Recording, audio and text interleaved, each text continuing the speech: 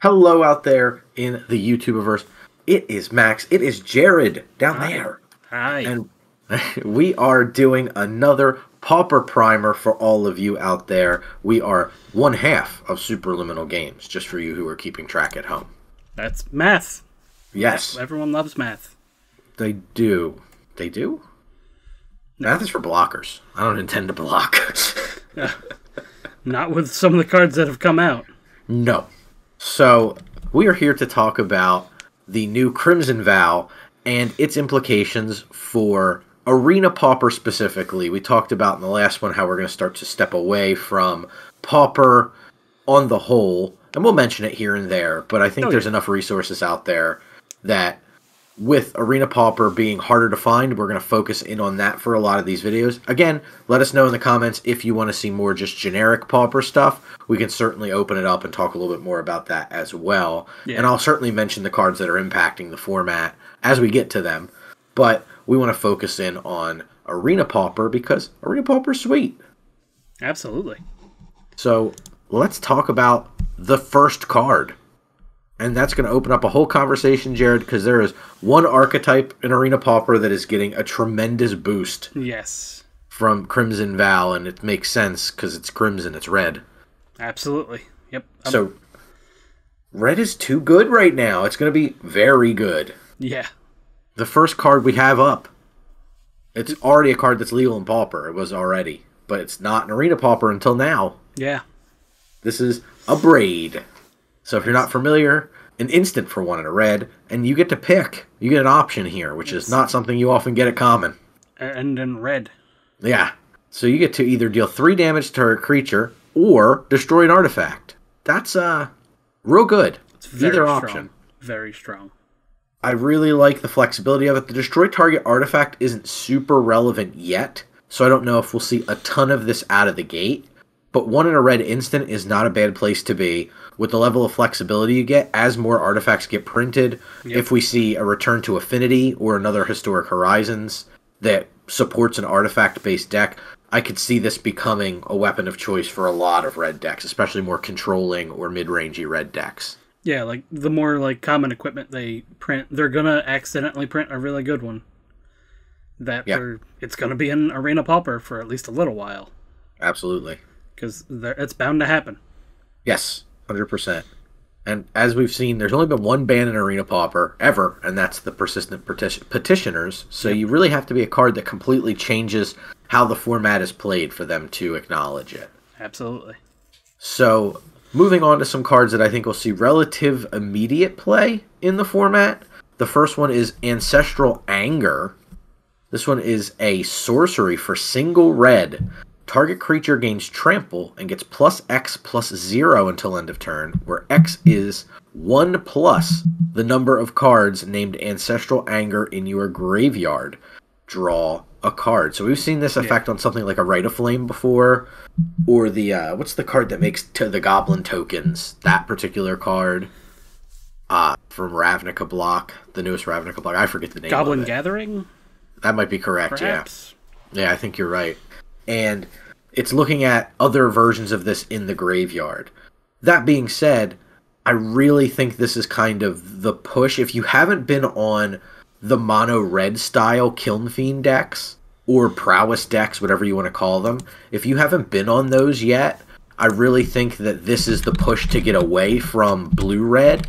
I think you need to get away from your cantrips and get into the mono red build. So in this slot, the, the card that this is upgrading for me is Rile, which is it deals one damage to a creature you control, and it gives it trample and draw a card. So this was kind of my filler. I think it's at a three of right now. This is just a strict upgrade to that card. It's not that's not hindering me in any way. I don't have to worry about oh no now my Kiln Fiend gets blown out by some kind of weird little ping. Yeah. I don't have to worry about any of that stuff now. I don't have to wait to target a burning prophet. I can just ancestral anger and continue to cantrip, which is really powerful. And the trample is, and the reason I was playing Rile is for trample. You com- you Yeah. combo this with um, War Leader Strike or Warlord's Fury, Warlord's Fury maybe, Warlord's Fury. and give everything first strike and trample. And this is a con- it's a combination that Jayrod loves. Oh yeah, like I, I I like Crash Through, but the the incremental power upgrade I think is more important because they're usually only worried about one creature getting bigger anyway. Right, and I think the the beauty of the mono red build of this deck is you get to play Crash through and Ancestral Anger. You get to play Yep. them both, and it's Absolutely. just like you know what do I have to pick? And this works really well when you're on just no Kiln Fiend, but you're trying to just get there with your Burning Prophet, or you're trying to get there with your uh, the two one that deals the damage whenever you cast a non creature spell. Firebrand Archer. Thank you, Firebrand Archer. When you're on those guys, it's sometimes really hard to force through those last couple points of damage. This card lets you do it. And it also lets me segue nicely into the next card, which is very close to Firebrand Archer. Yes, it is. and I did bring up Goblin Gathering on screen for just a second, and it was what we wanted. nice. But So this this, this one here, ooh, this is a good this is a great discussion card because it is exactly Firebrand Archer, but instead of a 2-1, you now have a 1-3 with the Kessig Flame Breather. and yeah, still, still human. I think the the secondary creature type or the class may change, but same effect. Whenever you cast a non-creature spell, it deals one damage to each opponent. yeah, I think the Archer is specifically an Archer, and this Makes is a, sense. a Shaman. So Yeah. So not really relevant in Pauper either either thing. Human slightly more so than the other things. possibly, yeah, But the stat line is the interesting one. So I think if you were to tool your red decks to where you want to run, you could definitely get away with I'm playing Thermo Alchemist in four, I'm playing Kessig Flame Breather in four, and I'm playing the Firebrand Archer in four, and I'm just pulling away from Burning Prophet or the uh the elementals or the weirds or whatever you're doing in your prowess deck. You're pulling away from that to be less interactive and just more face damage, which I think is acceptable largely. yeah, So it's definitely it, what's neat is we get to see branching archetypes. We've already seen like a red aggro deck and a red spells deck, and I think the Kiln Fiend deck kind of is the the one that bridges the gap and dances between the 2 mm-hmm. But now this helps further that gap where it's like, you know what? Do I even feel like dealing with a combat step, or am I just going to cast instants and sorceries that draw me more cards? Draw me to more of these effects and keep meanwhile just getting like between one and four points of free damage on top of whatever I'm dealing. yeah. Like Kiln Fiend works almost like a combo deck, where this works more like just aggressive burn. Yeah, it's a great value deck. I think if you wanted to stick to blue and you're just like, no, my Opts are too good, I have to play them, I think you want to build a configuration a little closer to Thermo Alchemists, Flame Breathers, and Archers. Yeah, Because then you're just getting, you're actually getting more value and more incremental value, and your cards that cost multiple blue get there a little bit better than something like the, the Red Weird does. I don't think it quite does enough yeah, to help you out the way you want. But I think the Flame Breather helps fill that spot. If you really want to push to blue red, I think you're you're going to be less interactive and leaning more on these guys to deal your deal your massive damage mm-hmm. to your opponent. Maybe try to win with like a couple Serpentine Curve if you need it or something like that. Yeah. Or you put Fling in the deck and play Serpentine Curve. That's extra sweet. Oh, that's that's a fun one. So let's move on to the card, another card, and kind of the card. This is it. This is the best card. This may be the best card we talk about tonight. Uh, possibly. This card is absolutely absurd. It is seeing play, of course, in Real Deal Pauper. This card is Reckless Impulse. It's one in a red, it's a sorcery. You exile the top two cards of your library. Until the end of your next turn, you may Yeah. play, specifically play, those cards. So even if it's two lands, unless you play a land on the turn you cast this, you can still use both of them. Yeah, this And is That's such a big deal. Yeah. Oh, it's so good. It's so good. And if I haven't convinced you to go mono red yet with your cantrippy Kiln Fiend decks, I can't say any more than this card. Yeah, This card does so much heavy lifting. Like Jayrod said, it lets you hit your land drops. It lets you play a lower land count, which is so important in Pauper because if mm-hmm. you flood, you lose most of the time. yeah, So it really helps you make use of the lands. If you don't need the excess lands, one in a red. If I had re- one in like one in a red sorcery, trigger my Kiln Fiends, trigger my my Flame Breathers, my Thermo Alchemist, and then just take two mountains out of your deck, I'd consider playing that card. yeah. Certainly in Pauper, it's just like just remove two mountains from your from your deck. Okay, sounds good. Yeah. so if that's the worst you're getting off this, so be it. Otherwise, it can go. Imagine a turn. It's like fifth turn or something. You have out a, a flame breather or two, or a thermo alchemist and a flame breather, and you get to start your turn with impulse into single red cantrip into single red cantrip. It's just you're talking Yeah. four to five damage before combat. If you don't, and if you have a Kiln Fiend out, obviously things become a lot worse for the opponent. Mm-hmm. yeah Holy crap! This can get out of hand real fast in the later turns for red. Absolutely. It's we talk about how close to a dead draw a lot of the cards in the red deck can feel like they are and why the draw card is so important if you're playing mono red. This card is the opposite of all of that. It's so good. Yeah. It's it's going to make me move away I think because there's so many single red cards that are good now. I think I'm going to move away from playing Sunscorched Desert. I'll probably move to a configuration that's either all mountains or mountains plus like two Forgotten Cave Uh, yeah. So that I can just use these cards and take super advantage and not worry about because if my turn if using this card you can use a Sunscorched Desert, but if you're on like Sunscorched Desert, Sunscorched Desert in on the battlefield, it makes cards like this one significantly worse because you can't just trip off the turn you cast it if you need to in the later game because your generic mana be kind of clogs you up a little bit. You can't just cast your ancestral anger into crash through. You're like, Yeah. "Damn, You- I you- got that colorless mana is screwing me. it kills you to get pinched on it, and it just Uh-huh. might not be worth it. No, I love getting extra value out of my lands, especially in Pauper, because there's so few lands in Arena Pauper that you can get extra value on. But one trading off one damage versus a turn I could potentially win that I couldn't have won. Like this could win me the game out of nowhere, or take me back on a game that I wasn't going to win. Just seems more valuable. So, yeah. What a what a set of upgrades for Red. Yeah. Good for you, Red. yeah. You've earned it. Yeah, holy crap. It was already a pillar of the format, and it just got so many more toys. So the next grouping of cards I want to talk about are a little bit more speculative. These are kind of like good role players or possibly good cards that could see play in certain archetypes. And you'll see what I mean when we look at the first card. The first card we're looking at is a black card. It's not red anymore, even though we're in Crimson Vow. It is a Courier Bat. It is two and a black for a bat. It has flying, probably because it's a bat. Backed. When it, bat. When it enters the battlefield, if you gained life this turn, return up to one target creature card from your graveyard to your hand. So this card's Real good. really good at getting back the high priority targets that exist in the black red like drain and gain deck. Yeah. This card's awesome with Ill-Gotten Inheritance. Mhm. It just does so much work in these kinds of decks. It's a nice little flyer that's a role player. Normally in this slot, I'd be playing the the vampire. It's been in a couple of the core sets that when it enters the battlefield, it does little gain and drain. They lose a life, you gain a life. Yeah. I can't think of that one at the moment. No.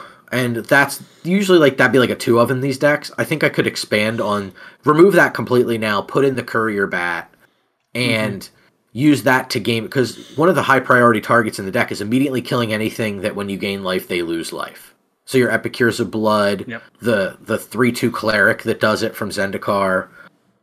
Those are st- like they come down and they die immediately. your opponent's like, "Oh Yeah. crap! I have to kill that on the spot."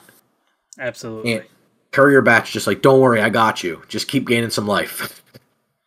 so it's a it's a nice flexible role player. It keeps pressure. It's evasive. I think it does a lot of things really nicely. It fails the shock test, but I think my Raise Dead having a condition is fine on a 2-2 body, right? Raise Dead costs the black. So we're getting 2-2 Yeah. flyer for 2 generic mana on this card, as long as we gained a life.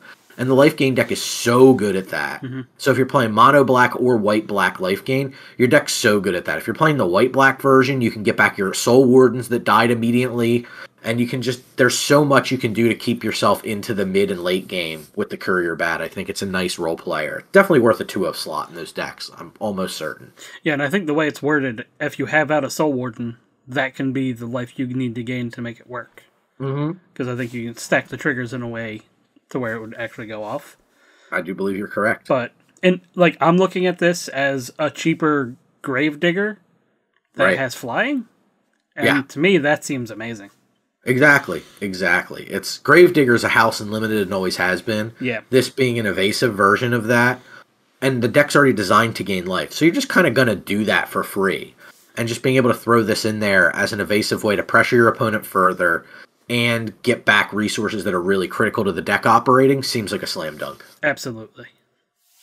Here's a less certain card Whew. coming up for the Hexproof deck. It is Lantern Bearer. He's a 1 1 for 1 with flying. He is, Yeah. in fact, flying men. He's a spirit, though, not a man. Well, was once a man, perhaps. We don't know. It's hard to say. Could have just been It a is. lantern. That's right. But it transforms into a two and a blue. You get to disturb it, and it becomes an enchantment that gives plus one, plus one, and flying to the enchanted creature. And then obviously, if it goes to the graveyard, you just get rid of it, so you can't just keep redisturbing it. Yeah, but that's still pretty nice. It's not bad, right? Like if you need to, you can always slap this down as a one-one flyer, hold up your Ranger's Guile, your Snakeskin Veil to keep it alive, and then attach your auras to it to try to push through a win or gain yourself back some life or whatever you're trying to do. Mm-hmm. But on the backside, if it dies early, you kind of don't care because then you get to play Lantern's Lift and put it on your hexproof creature and make it an actual evasive threat still. And Yeah. it's not quite as good as plus two plus two in flying, but for one more mana, plus one plus one in flying on half of a card isn't bad. Mhm. It lets me in the blue decks also loot a little bit more aggressively than I was, so I think there's some options. I don't think it's necessarily a slam dunk like Courier Bat is in the deck, but it could be a really nice role player for the deck. You can discard it to looting effects and just be like, I don't care. It becomes an enchantment, something that actually interacts out of the graveyard. And I was playing the green card that gives plus one plus one and trample, and that you can return it from the graveyard to your hand to give me something to do in the graveyard. Yeah. So that doesn't hurt. I get to loot a little bit more aggressively and kind of filter my draws because it's just a little easier to loot than it is to just draw raw cards in Pauper, both for mana reasons and how short the games tend to be because the mm-hmm. decks are more aggressive. So Lantern Bearer might see some play. You never know. It could, yeah. So Lantern Bearer, from there we do another one drop. It's a single white drop this time. It's a human cleric, traveling minister.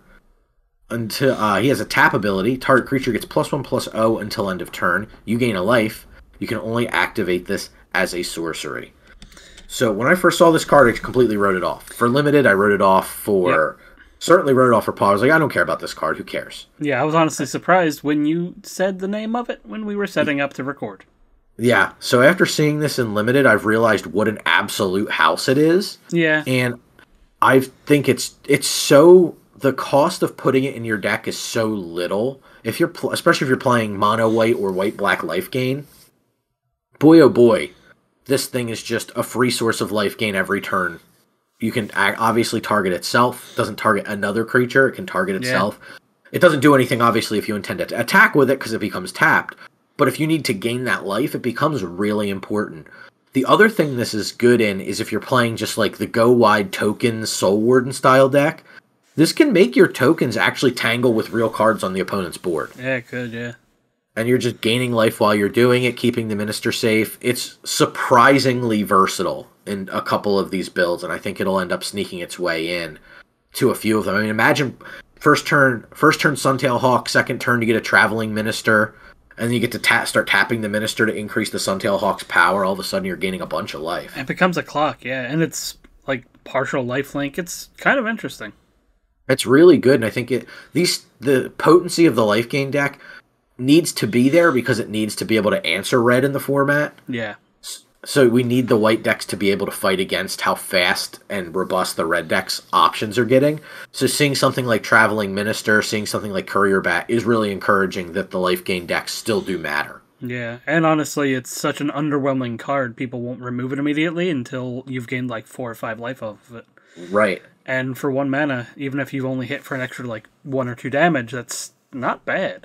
No, it's So- surprisingly flexible. Like this is a he- like I've, I'm impressed with Unlimited how high of a pick this has become, and it wouldn't surprise me at all to start seeing like three to four of these in every pauper deck that's angling around life gain. Yeah, it's pretty wild to think about. Yeah, it's very good, and it's for such a low cost, one mana, and it's a free tap. Like it's just so all right. It's a sorcery. Okay, sounds sounds fine. Yeah. I, I accept. I accept he'll never block. It's fine. Whatever. Pretty much. I like it. moving on to the next one is a card that if you if you've watched any of these before, you will know one of my favorite decks to play in the format is the zombie deck, which was our first real tribal deck that was successful. Yeah, so good. It was it was it ended up being really good. It had a lot of ability to gain value. And then elves came out and was just like, oh, now there can be multiple tribes. But the zombie deck is a personal favorite of mine. It's gotten so much better with Midnight Hunt coming out and getting the Siege Zombie as part of the deck. I think the Mind Leech Ghoul is a nice upgrade over the last couple shabby two drops we had. yeah. So it's a 2 2 for 2, and it has Exploit. So, Exploit, when it enters the battlefield, you may sacrifice a creature. This includes itself, keep in mind. You can mm-hmm. just immediately exploit it if you want to play it as a sorcery. So, when it exploits, each opponent exiles a card from their hand. This plays really nicely in the deck with the one drop zombie that lets you tap and sacrifice itself to have your opponent discard. Yep. So, out of nowhere, you can kind of just mind rot your opponent. Yeah, Liliana's Steward. Yeah, if you're ah. on a locked board and you have out like a Siege Zombie, it's like, all right, in time I can win, or if your opponent just can't really block, it's like, you know what, the cards in their hand might get them back into the game. I'm just gonna get rid of both of them right now. Absolutely. It's really a nice flexible option. Two two's good enough. I still am looking for another good one drop zombie to round out the deck, but I think that this is a nice upgrade to what we have on the two drop slots. We had a couple shabby ones still in there that can get replaced. So mm-hmm. definitely check that out. Check out the pop up video. That's got the zombie deck in it, so you can see it in its newest formation and add the Mind Leech Ghoul where you think is appropriate. So here's another card that starts with the letter M. That's the best segue I got. it's Mulch. So this is another card that existed. Another card that sees Fringe play occasionally in actual Pauper. Not too too frequently, but occasionally a graveyard deck will want to play this. So it's one in a green sorcery. Reveal the top four cards of your library. You put all the land cards revealed this way into your hand, and the rest into your graveyard. So what is this card, and why is why am I mentioning it? Like, who cares about lands in my hand and Pauper? And that's a fair point. There's nothing that really takes Yeah. huge advantage of lands in your hand in Pauper. But there are some cards that can interact out of your graveyard in Pauper that are actually kind of valuable. So you have Escape, which is pretty pretty nice mechanic that pairs with Mulch well. Mm-hmm. You also have something like Sanitarium Skeleton that can come back from the graveyard when you have extra mana. Works really well if you're playing like an aristocrat sacrificey kind of deck, because this is the kind of card that can gain you card advantage. So you get to get a bunch of lands out of the way, possibly put cards that do stuff into your graveyard, and then be able to use those cards from the graveyard again. Obviously, we had Flashback come back, we have Disturb, we've already mentioned in this primer. So there's a lot of things you can do to make your deck very flexible and kind of use Mulch as the engine to start putting cards into your graveyard. So anxious to see what people can do with it. It's kind of more of a brewer's paradise. I know for sure. I'm well. I don't know for sure because I have Grisly. We have Grisly Salvage already, and that's what I'm playing currently in my aristocrat style deck. Yeah. But if I need to get lands into my hand for discarding purposes, there might be a couple discard cards, and we may look at one down the line uh, that help it. Then so be it. We'll kind of we'll kind of look at two cards that pair nicely with mulch on the next two as the next two pop up. So the next one obviously is pretty apparent because it's the kind of a level one Yeah. bit of interaction. It's some of the most obvious you can get. This is persistent specimen. It's a one one for one. You get to pay three, return it from your graveyard to the battlefield tapped. Simple enough. Yeah, we also had a similar card in Str- uh, not is it Strixhaven? What's the one with the schools? Strixhaven. Strixhaven. Okay, good. For some reason, I talked myself out of that being the right set. But we had the uh, the one one for one with menace that you can pay two in a black and exile it from your graveyard to draw a card. Yep. Unwilling ingredient. Ingredient, yeah. Very similar card to the specimen. Both do things from your graveyard. Both are kind of good ideas, right? Like the specimen plays very well with things that want to sacrifice. So if you're using like plagued Rusalka, if you're using the uh, from Strixhaven as well, the Bayou Groff, all these things play so well with persistent specimen that it's hard to ignore its potency. And instead of Sanitarium Skeleton, where you have to pay to get it back to your hand, or same with the uh, the card from uh, Ikoria that you pay a little bit of the two drop, the two two for two that you get to pay to return it to your hand. this one gets to come right back onto the battlefield, like reassembling skeleton style. Yeah. So it is a nice role player. Obviously, these decks we're talking about, these kind of graveyard synergy decks, are mid range decks, but I think that they do have some potency. And maybe it depends on the format. Like, obviously, we saw a bunch of red cards that are super powerful. It's going to be hard for this deck to beat those red decks because Yeah. how the heck do you live? But if you can figure out the life gain part of it and kind of start to build something from there, I think these decks do have a decent shot. Another card that is in a similar vein is this Ragged Recluse. It's a 2 1 for 2. At the beginning of your end step, if you've discarded a card, you get to transform it. Sorry, so that's like pretty medium card. Why am I bringing it up? Well, the backside is a 3 3 that when it attacks, defending player loses a life and you gain a life. Yeah. That's pretty good. Yeah, it's a nice rate. 2 1 for 2 is not that bad. Obviously, fails the shock test. But if you can do something like put it down and then discard a card, like maybe turn 3, you're using something to discard a card, it's pretty nasty because it can just flip and then start attacking. If this thing attacks, it's like, man, that's such a big deal. Just getting that trigger one time can be good enough.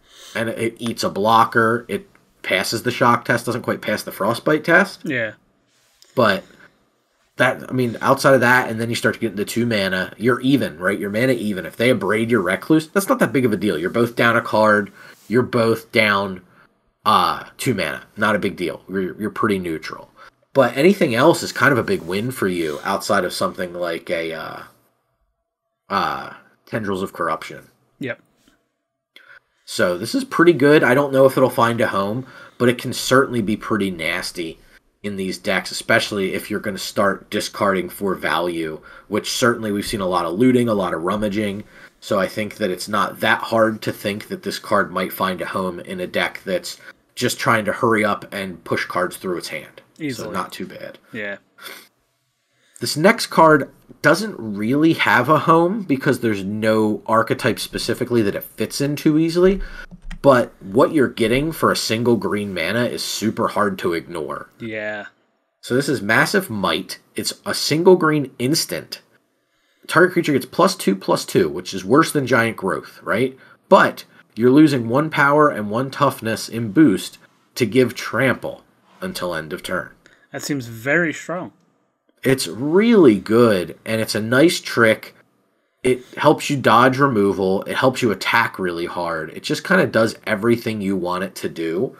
I don't know where the home for this card is yet, if it finds a home. It's just worth noting for one single mana, you're getting a ton of value out of this card. Like, you can really completely hose a possible removal spell, it can eat a blocker, and you're getting the trample, so you're going to get probably at least one or two points of damage in over top of what's going on for your opponent. So it can do a lot, especially if you're Yeah. a low to the ground aggro deck. Yeah, I can Maybe- see it possibly if you want to do like the not mono red, but if you want to like add a little bit of other things, because then you can run things like Snakeskin Veil or Ranger's Guile to Right. protect the creatures that you're trying to get pushing through. So Absolutely. like it, it could be in a Kiln Fiend build as a red green instead of a red blue. So Yeah, that'd be cool. And then you get to play. Uh, what's it, is it? What's the? Uh, there's Crash Through, and then there's a green version of it that also was from Strixhaven. That Not- card was pretty cool. it's not Ram through because that's the one. That's from Ikoria. Yeah, that's what I keep thinking it is. But too. honestly, that might be an include. right, exactly. You get a Um, lot of cool, especially with the giving trample, being Yeah. able to use ram through to deal extra damage on top. It's kind of like a fling in that bit. regard. You get your Kiln Fiend gigantic with trample and then attack. They block, and then you go, okay, I'm going to also ram through your creature, so I have to assign no damage to that. The rest of the damage goes through, and then my full attacks value goes through. It can be nasty good. Yeah. So that might be something to look at, actually. Absolutely, cool card. So the next ca- next two cards we're going to talk about are super duper niche, and Yes. the only reason I'm talking about them is because of one other card that I feel like may quietly be one of the most insane cards no one's playing in the format. So that card that I'm talking about is a it's a Forgotten Realms card, and it's called Deadly Dispute. I'll bring that up real quick. It's one in a black. It's an instant. And if you're not familiar with it, you have to sacrifice an artifact or a creature as an additional cost. But you get to draw two cards and create a treasure token. So it's like a village rites, but you can sacrifice artifacts for uh, artifacts to it. And I say it's like a village rites because it makes back a mana. Yeah. So in reality, if you're if you can plan your turns out, you can get this to act as a one mana spell, mm-hmm. given the right circumstance. Not always, but you can. Or you can save it up as a way to accelerate your mana for another turn. So something like Wedding Invitation pairs really well with it because Wedding Invitation enters the battlefield and draws you a card already. It's very much like an Ichor Wellspring. Yep. If you want to use it, you can sacrifice it to something like a deadly dispute or you can use its ability to make a creature unblockable this turn it doesn't mean that like you normally this is reverse right like we see it like target creature can't block this turn this one is target creature can't be blocked this turn yeah so it's it could get in the last couple points you need or just a, a damage to trigger like um spectacle if you're in that deck absolutely we so. saw we we built a deck that is a lot of fun. It's a white red artifact style deck yeah. that this kind of plays really nicely in because it can let us get through uh, the last couple points of damage, right? Like it's good for put it like I'm going to cast this, it's going to trigger my firebrand archers or my artificers, and then I'm going to use that to make one of them not able to be blocked, and I'm going to go ahead and attack you for lethal now. Yeah, the archers of the Reckless Fireweaver. Reckless Fireweaver, yeah, that's the artificer. Yep it's it's a cool card. It's also very good in something like the um, the Goblin combo deck, which I've played mm-hmm. before. If you go back to our YouTube, you'll be able to see that, and it works really well in there too because you can either sack it to the Deadly Dispute and draw a bunch of cards between its cantrip and the Deadly Dispute, or you can use it when you're going off. Your opponent may be like, "Well, I have blockers." If you don't have a Trampler, like you're just on like um, the little uh, Weaselback Redcap or something, yeah. you can use Wedding Invitation to make that unblockable. So it's got a lot of implications in that deck too. So again, super niche. I don't think you're putting this in any deck, but I think there are decks that this card can be taken advantage of pretty nicely. Mm-hmm. And similarly, the last card we're going to talk about is Blood Fountain, which is a single black artifact. When it enters the battlefield, you create a blood token, which is the only blood card I've included on this list. Yeah the blood is awesome. So baseline, this card's really interesting because it's two artifacts for one single mana. So if you're playing Affinity, so if you have your Myr Enforcers ready, this is a pretty nasty card to play. It could be, yeah. One mana makes your Myr Enforcer cost two mana less. So it's kind of like a mana accelerant. It helps you filter your draws because you do get to use that blood token. So if you have a if you're a land heavy hand, you just ditch one and draw something new. So it lets you draw to action. And for four mana, you get to sacrifice this and return up to two creatures from your graveyard to your hand. So late game, it's got implications too. Yeah, there's the, the blood fountain's actually very strong as far as the list of cards we talked about today too. So yeah, like, I think it's really cool. Yeah, there's not so much a home for it because there's not a lot of decks that are worried about the late game that much, but that being an implication on a card that can do other things is pretty important. Absolutely. This is a card that I would again put in the Goblin combo deck. So I have to, if somebody kills off my critical creatures too early, I'm able to use this to get them back late in the game. Yep. I can use the blood token to filter draws. I can use the blood token to be sacrificed to Deadly Dispute. Same with the Blood Fountain itself. Yeah, there's it's there's a lot. Really good. Yeah, it's it's a really cool card. Again, the scary thing about these card the cards we're talking about in the later part of the video is the cards we talked about in the earlier part are so good that it makes these cards hard to play with because they're late game cards. Yeah. So it's if you're going to play with cards like this and you want to have like this cool synergy engine, just keep in mind you do have to stay alive through the red deck doing its yes, thing. You do. So you need a lot of removal, you need life gain, you need to think about what you're doing. Well, the good news is if you're playing black cards, you get access to something like Tendrils of Corruption, so you can gain a lot of life with that card. Yep. You can play Moment of Craving, so you can gain life early. You get a lot of cheap interaction for yeah. black. So you can make it work but just be cognizant your deck does have to do that and then it takes deck slots right like you're taking away from your synergy parts of your deck because you're using that for removal So if you're going to do that, you need to be cognizant of it. I like it because if I'm playing against a deck that's a little slower, it works really well in the Goblin combo deck. It also is just cheap fodder if I need it. The blood token really helps out when I have just an extra mana on a random third turn or something. Like, cool, Yeah. let me just get rid of this card and I'll draw something else. Like, I need either my uh, first day of class or my uh, goblin with persist, whatever the heck he's called. I can never remember the card names when we do these videos. Uh, Goblin with Persist is actually just not in my brain because I was thinking this also goes into the uh, the rat deck. Yeah. Oh yeah. Hundred percent. It's cheap.